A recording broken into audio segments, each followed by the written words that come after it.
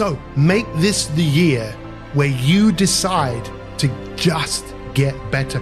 This is the year that I get crystal clear on my values. Commit to doing the things that you knew you should have been doing last year. This year, don't settle for good enough. I want you to stop looking towards tomorrow, next week, next month, next year, and start looking towards where you need to be right now. This is the year that I make an investment in myself. Are you ready for more in 2024? This is the year I give it everything I have. This is the year I stop complaining about the past. This is the year that I don't make excuses.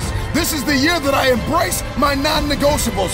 This is the year that if I see it in my head, I can hold it in my hand.